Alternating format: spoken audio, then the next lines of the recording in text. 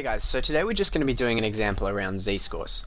So what we've got is we've got this question. It says John obtains a score of 56 on a test, the mean mark was 67 and the standard deviation of marks was 5.2. What's John's standardized mark? So what we want to do is we want to go through and take out our information which is going to be relevant to us. So first we want to work out what we're going to do. It says what is John's standardized mark? So we know we're going to be calculating this standardized mark which we call z-scores. And we know John obtained 56, the mean was 67 and the standard deviation was 5.2. So if we remember, the standard deviation told us the number of deviations from the mean, or the sorry, our standardized value as z-score tells us the number of deviations from the mean. So our z-score is equal to the number of deviations from the mean.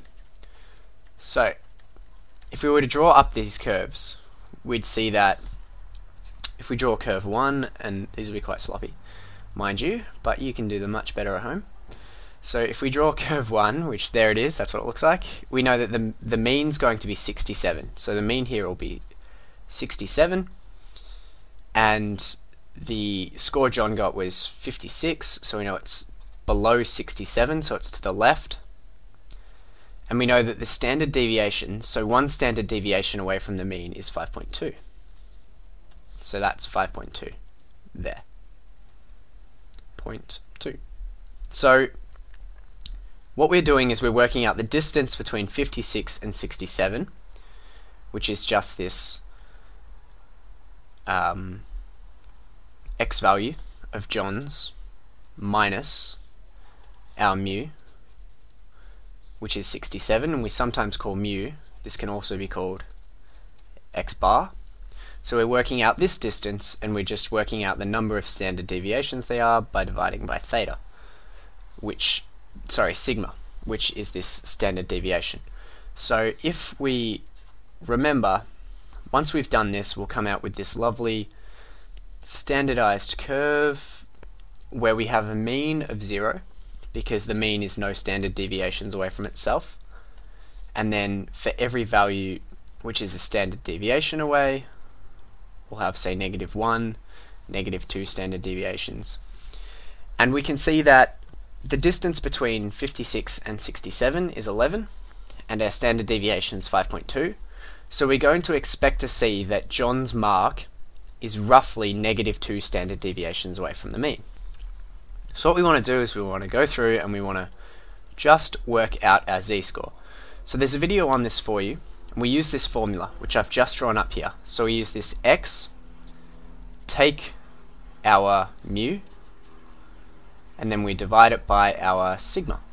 So we get this x take mu divided by sigma. So we can say that for our z-score, our x value is going to be our 56. We just define our term. So our x will be 56, our mu, sorry, our mu will be equal to 67 and our sigma will be equal to 5.2 which is our standard deviation 5.2 so what we do is we put in our values. So we get our x which is our 56 take away our mu which is our 67 and we divide it by our sigma, which is 5.2.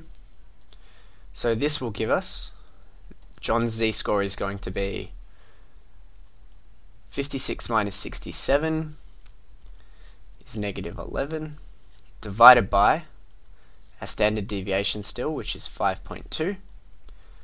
And if we solve that out, we can see that our z-score is going to be negative 2.1154. So this is pretty consistent with what we said. We said we'd expect John to be roughly negative 2 standard deviations away from the mean because he underperformed, so we know he would be to the left. And it's roughly about 2, so it's negative 2.1154, so we'd say that John's standardized test score, or John's z-score, his standardized mark is equal to negative 2.1154. And we could round this up to whatever we wanted to. We could round it down. Um, just be careful when you're rounding. Always round to the number of decimal places they ask you to. And that is how we would basically go around calculating, calculating a z-score. So I hope that's helpful for you guys, and I'll put up some more examples. Cheers.